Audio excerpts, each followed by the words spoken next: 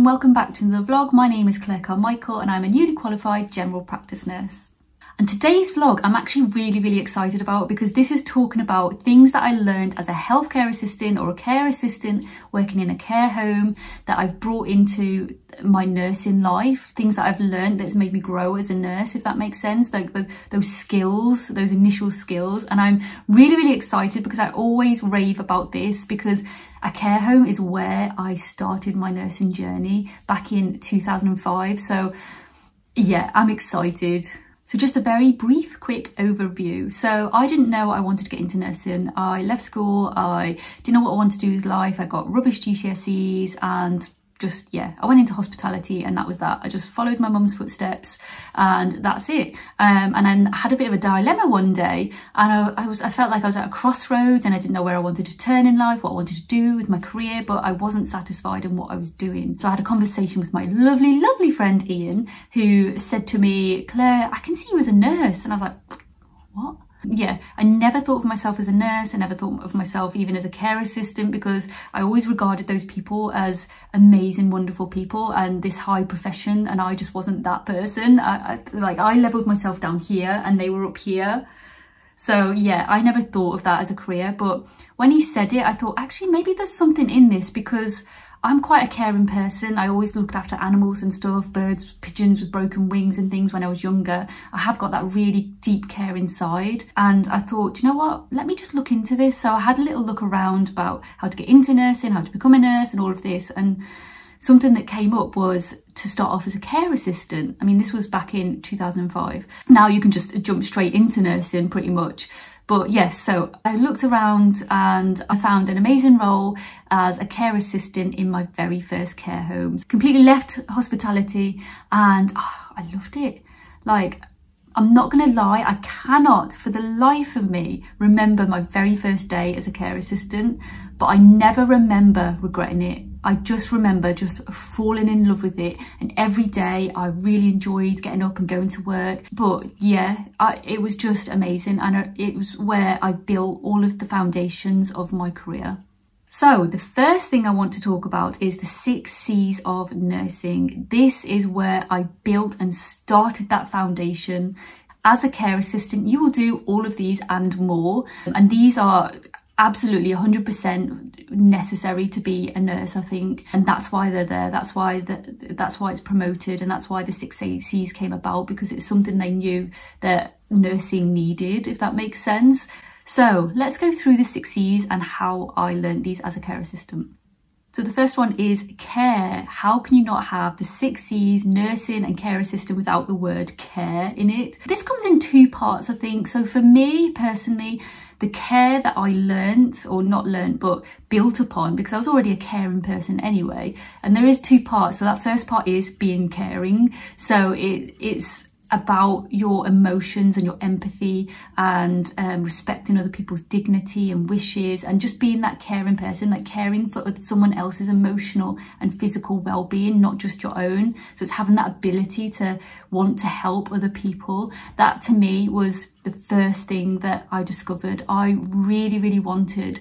to help others and I wanted to be that point of call for their care.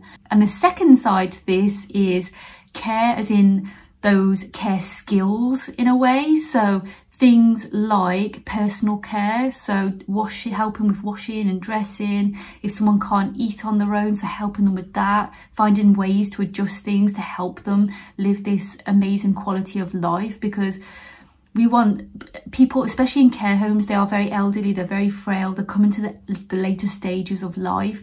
So you want to make the quality of that life as an amazing experience as possible because those are their possibly sometimes their last moments on this earth. So the care that you give and the care that they receive and those care type of skills are really really important I think especially in care homes. So other things like assisting with toileting needs. So some people might need help um, on the toilet when they're on the toilet. Maybe they physically are completely bed bound I hate this word but I can't think of another word to describe it but they are completely bedbound and they use maybe a commode um, or sometimes they use a bedpan. Sometimes they might have this, these incontinence pads as well. So it's that type of care that you're giving to your patients as well. Catheter care as well. So if they've got catheters, making sure you're recording the fluid balance and emptying and changing catheters. That's a skill that I learned very early on as a care assistant as well. That's not just for a nurse to do, care assistants do that as well. So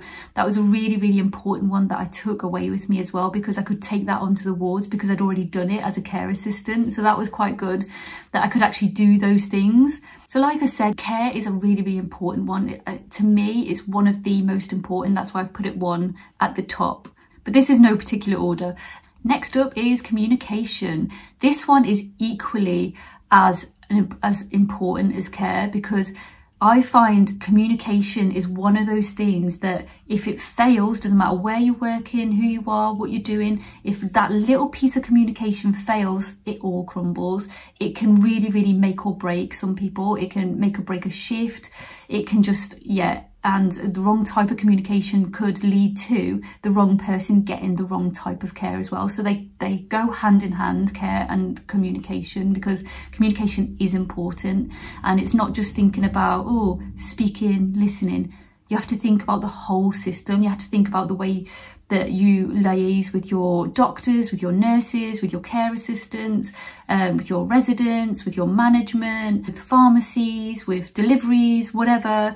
But it's not just about the way that you talk to your patient. Communication is a whole massive thing. It's how you're documenting. It's those non-verbal communication. They say, I think it's 70% of our our communication is body language. So it's thinking about your body language as well. And maybe for those that have especially elderly people a lot of people have hearing aids. They they might have um, dentures. They might have they might have had a stroke, so their speech is impaired and they can't communicate as well. They might have dementia, so it's thinking about how to communicate with those sorts of people, especially in the later stages of dementia, where the understanding isn't quite as, as it used to be.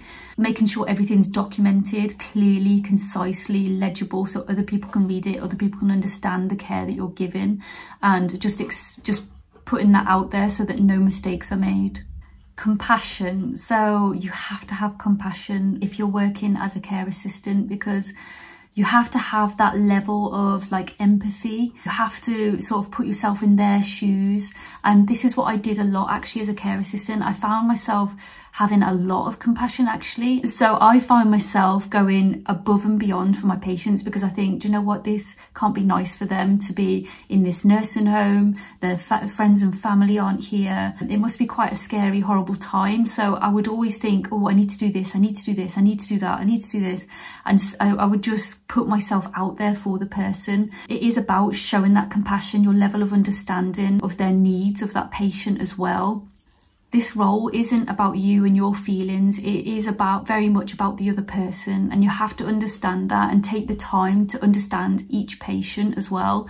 Get talk to them get their background get their history find out what they love and what they enjoy doing activities wise and just yeah just have that level of compassion for your patients and respect them in a way and just again is talking about that quality of life as well. So it's making sure you give them that good quality of life in potentially their last moments as well.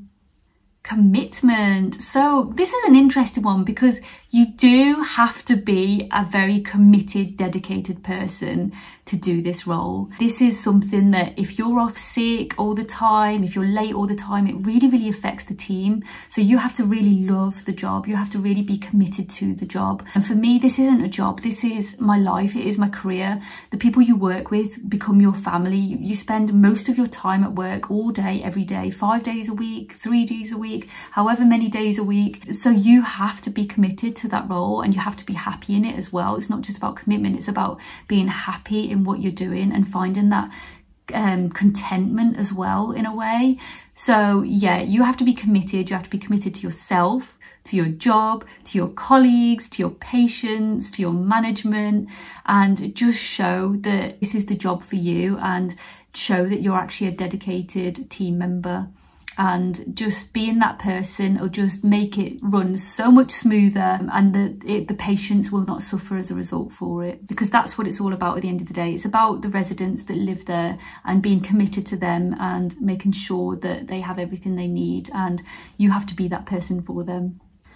And working in a care home will absolutely give you that because the more you do the role, the more you'll feel confident in things and the, the more you will think, do you know what, I love this job, I love it, I'm going to get up earlier, I'm going to arrive earlier, I'm going to see my patients, and you will fall into that commitment routine as you go along because it is an amazing career and it's really hard not to be committed to that sort of role.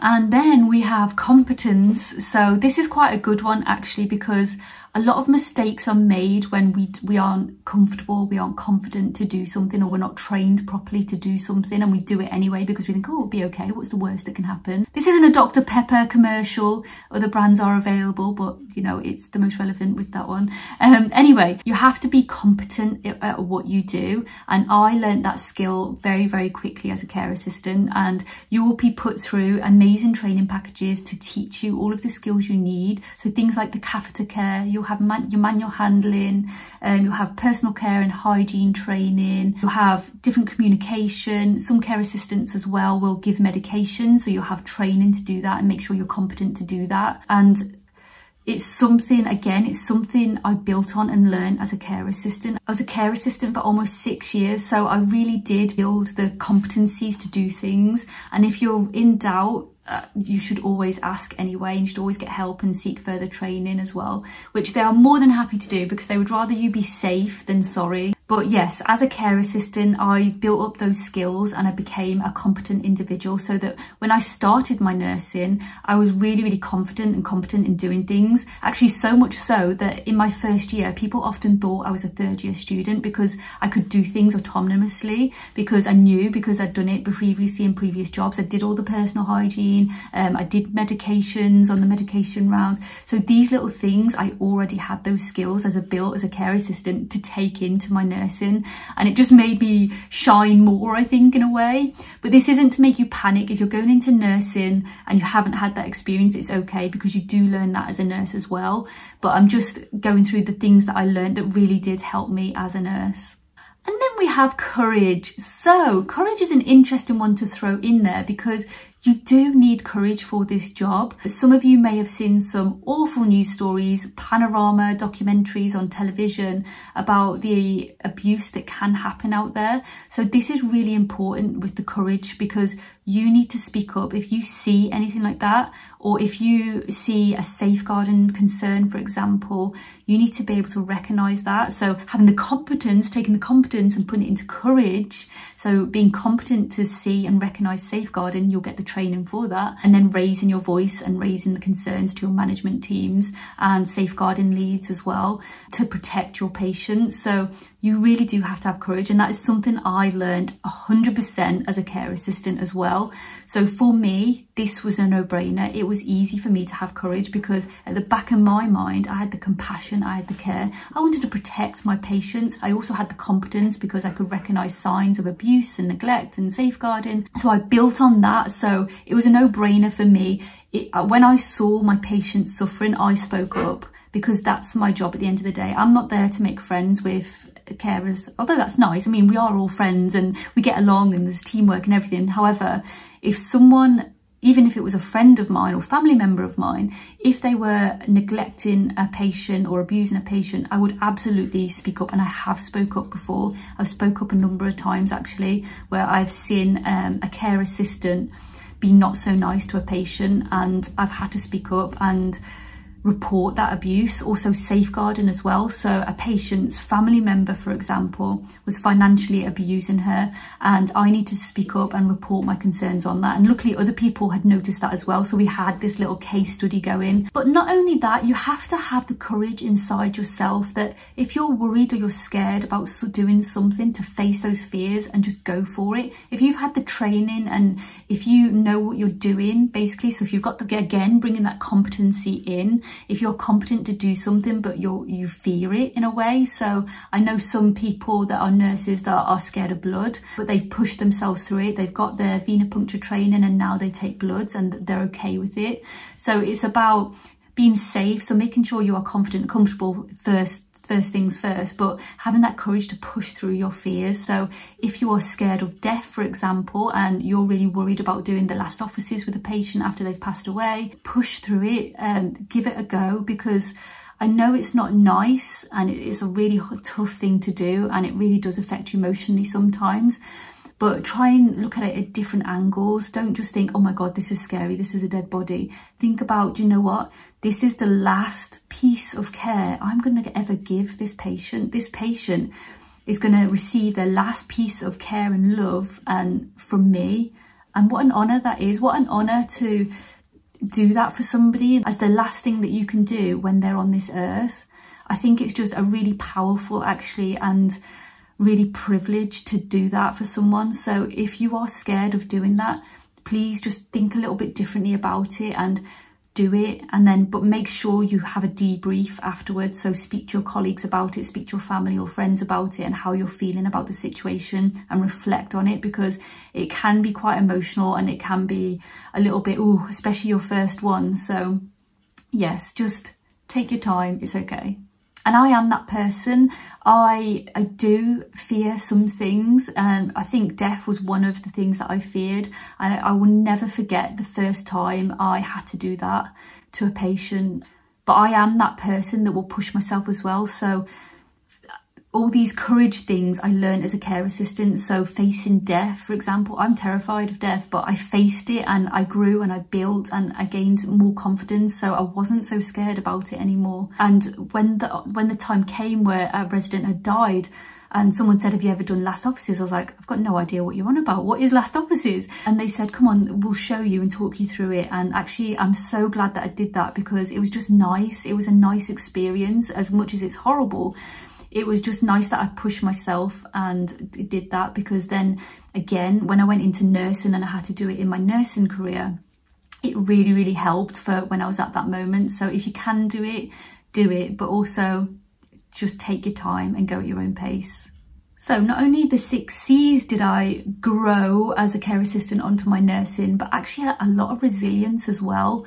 Care work it is tough and you will get really, really tough days where you just think, oh my gosh, but you do bounce back and you reflect and you grow as a person. And I think my resilience levels are like up here somewhere now, just about. But yeah, you will definitely, especially reflections you need as a nurse as well. So you will always reflect sort of unconsciously. So you'll think about the previous day, what went right, what went wrong, how could I have done that better?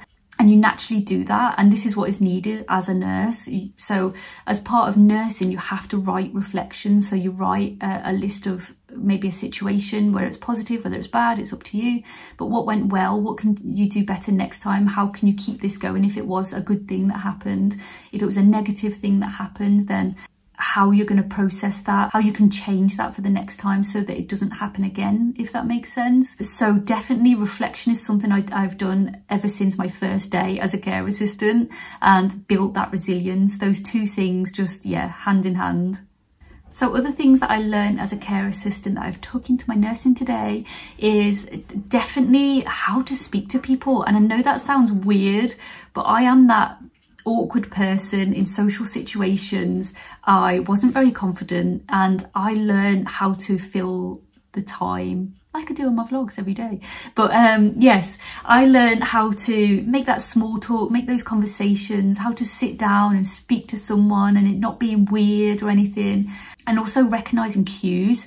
So you will get confident in knowing what you can and can't say to patients. So some patients you can have a laugh with and you can say all sorts and they'll be happy with that. And other patients or residents, you can't and you have to be really like straightforward, professional. They want someone that's assertive, knows what they're doing, and that's a skill in itself. So that is something that I've definitely picked up as a care assistant and that those years of experience that I took into my nursing with me. Something else that I learned is patience. I know, like patience as in I'm a very patient person rather than your patience. it's so weird because as a, a, person in my own home, I'm very impatient. If I'm waiting for a parcel or a delivery, oh my God, ah, I'm so impatient. I just want to get it now. Oh, but it's amazing how different I am in that environment. I am so patient and you will learn this as a care assistant. You will learn that everything takes time. It's not a rush. And even when you're having a busy day and you need to rush a little bit, you will learn patience and you will learn that the people that you're caring for have to take it slow and have to take it step by step and they need really good explanations and things like that. And sometimes people, whether it's your colleagues, management, residents, some people might try your patience a little bit and you'll just be like, oh, it's okay, it's okay. So yes, patience is definitely something that I've built and grown upon and it actually shocked me.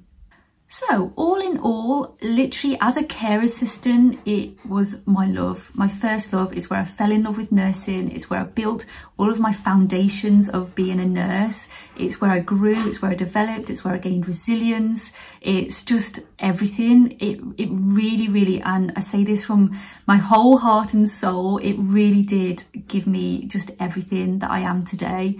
And I'm so grateful for that. And I just love it. So if you are thinking about going into care work, uh, you're not nursing yet, but you're thinking about going into care work first, absolutely 100% do it because it's the most rewarding, amazing experience and you will love every every single minute of it. And if you do go into care work, you just might find out a few things about yourself that you did not realise, just like I did. Good luck!